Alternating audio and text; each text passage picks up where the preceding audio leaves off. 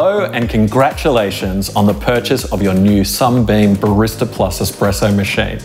My name is Ben. I'm a barista and multi award winning coffee roaster, and I personally believe life is just too short to be drinking bad coffee. This all in one coffee machine has everything you need to start making great tasting coffee, including an integrated tap and go grinder, meaning you'll be getting the maximum flavour and aroma in your cup. Another benefit to the Barista Plus is the built-in timer, providing real-time feedback on your accuracy and consistency. Okay, now that you have a great machine, it's important to make sure you have a good bag of coffee beans. When it comes to getting the perfect extraction, using freshly roasted, good quality beans is the most important step. Coffee beans have the best flavour between 5 to 20 days after roasting. Make sure you look out for beans with a roasted on date in the bag. Personally, I recommend buying smaller bags to reduce storage time. Storage plays a key role in preserving the freshness of the coffee beans. Using an airtight container, keep them in a cool, dry, and dark place out of direct sunlight. I find a kitchen cupboard works perfectly. In this video, I'll assist you with using your coffee machine for the first time and guide you through the process of making a great coffee at home. In less than three minutes, you'll be sipping on cafe style coffee in the comfort of your own home. Let's begin.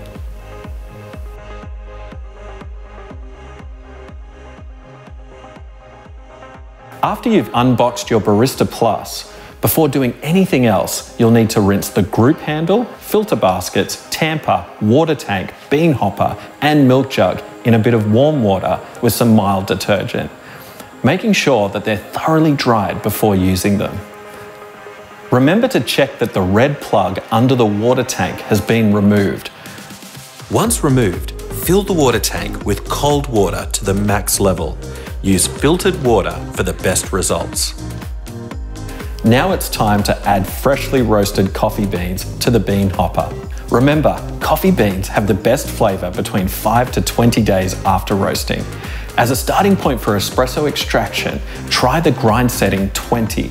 It's a safe starting point for any type of coffee you might be using. The very fresh beans require a coarser grind that will tend to pour slower. As you work your way through the bag of coffee, you may notice that you're needing to adjust the grind setting a little bit finer. This is completely normal and you shouldn't worry about making these adjustments.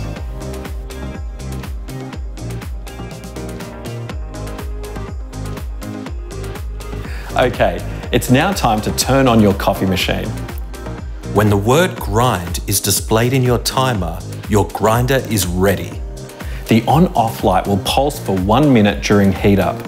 When the light stops pulsing, the machine is ready for your coffee extraction.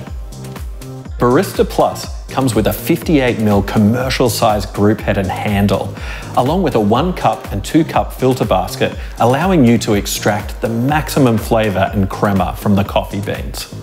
A 58ml group head is industry standard and what I use in my cafes every day.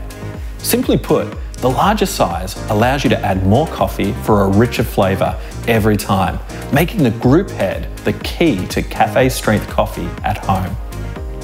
It's important to preheat the group head, group handle, and filter baskets before you make your coffee.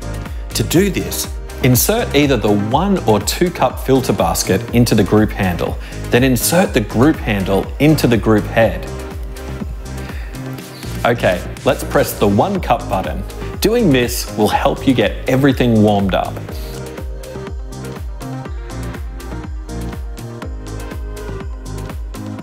After that, wipe the filter basket dry with a clean cloth.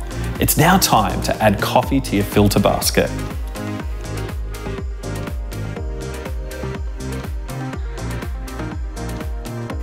As I mentioned earlier, Barista Plus comes with a built-in grind and shot timer. Timers are actually what we use in our cafes to help baristas achieve a consistently great tasting coffee. You may need to vary your grind setting when using different coffee beans, depending on bean freshness. As coffee beans age, they release gas, and this affects the pour time. Once the coffee is fully degassed, it provides less resistance, making it easier for the water to pass through it. This is why you may need to adjust your grinder to a finer setting. Smaller number settings make the coffee grinds finer and slow down your extraction.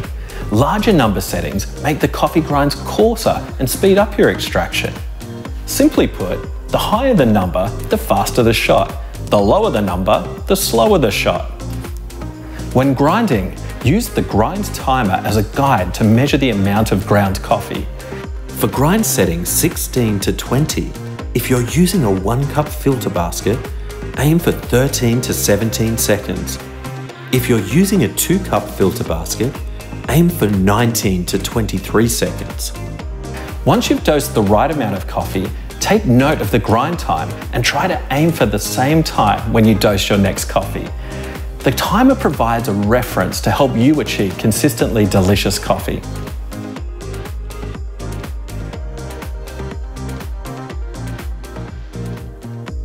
Tamp with a medium pressure, somewhere between 10 to 15 kilos is ideal, but basically a gentle lean with some of your body weight is great. Next, you should rotate the tamper to level the coffee. The tamper has been designed so that the top of the tamper marries perfectly with the top of the filter basket after tamping, and this ensures an even extraction. Wipe the edges to clear any excess ground coffee. Insert the group handle into the group head. The group handle should be in the center position. If you enjoy your coffee a little on the hotter side, you can preheat your cup with some hot water. Now, over the years, a lot of people have asked me why it's important to preheat the glass. The simple answer is espresso is such a small volume and it can lose heat really fast. By using this simple preheat method, you can ensure that your coffee stays hot and at its optimal drinking temperature for much longer. To do this, position the steam wand in the cup and turn the dial to hot water, returning the dial to the vertical position once the cup is half full. You can empty the hot water from the cup after around 20 to 30 seconds.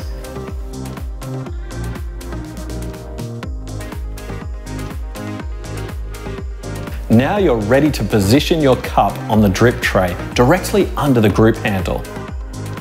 Press either the one or two cup button, depending on which filter basket you've decided to use.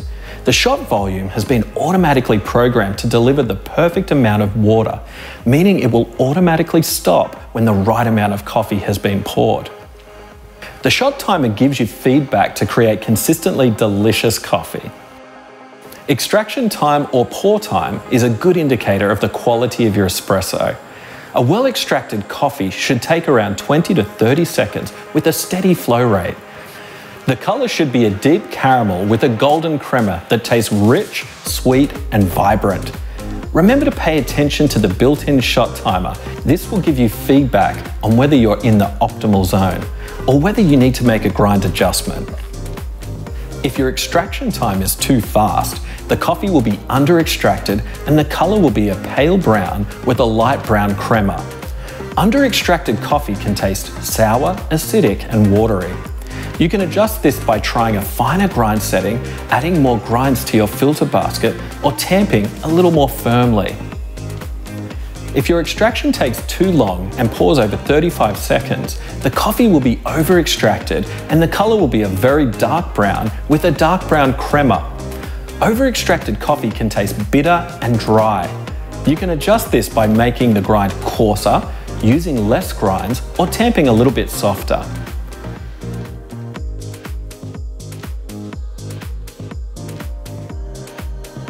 Getting the milk temperature just right can be a real make or break moment when it comes to making your coffee. And the window for error is very small. For that reason, we've included a milk thermometer with Barista Plus to help take the guesswork out of achieving the perfect milk temperature. Simply insert the thermometer into the milk jug and fill the jug with cold milk just below the bottom of the spout. Turn the dial to steam to preheat the thermoblock. At this point, the steam light will flash and let you know that the machine is warming up. You should keep the steam wand pointed down into the tray whilst it's heating, as some water may come out. When the steam light is on, the steam is ready to use. For the best milk texturing results, ensure the steam has first warmed up. You'll hear the pump start and the steam pressure gradually increase. When the steam is at its peak, turn off the steam and insert the steam wand into the milk jug just below the surface of the milk. For the best results, position the steam wand arm at 12 o'clock and the tip at 3 o'clock. Now when you're ready, turn the dial back to the steam position and start texturing your milk. If you're using the right texturing technique, you will hear a smooth hissing noise and the milk should spin in a whirlpool action. As the milk level rises, lower the jug to keep the tip just below the surface. The milk is ready when the needle on the thermometer reaches the red zone.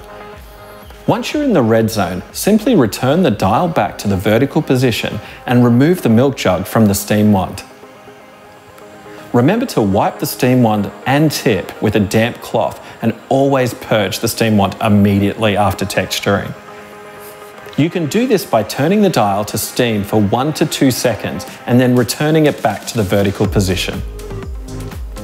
During the purge, you'll notice some milky water exiting the steam wand. Purging helps ensure the steam wand doesn't get blocked up and is ready for your next coffee. Now that you've purged the steam wand, pick up the jug and swirl it to blend the milk to create a silky texture. Cafe quality milk should look like glossy white paint and have a smooth and velvety mouthfeel. Tap the jug to release any larger air bubbles and pour your milk in one steady stream.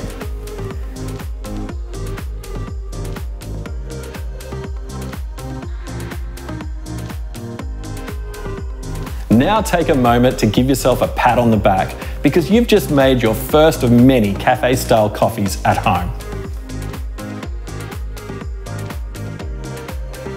Now that you've finished steaming the milk, the machine has already started its cooling down cycle by pumping cold water into the thermoblock. It's doing this to get ready for making your next coffee. When cooling to the espresso temperature, the steam light will flash and the water will purge into the drip tray. It's important to keep the drip tray in place during this time. Now it's time to remove the group handle and knock out the used coffee. You can do this by turning the handle anti-clockwise from the group head. And lastly, wash all the parts with warm water.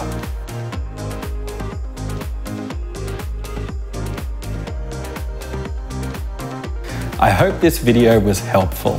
For more hints and tips on how to master your coffee extraction and milk texturing, don't forget to check out our other videos in the Sunbeam Coffee Hub.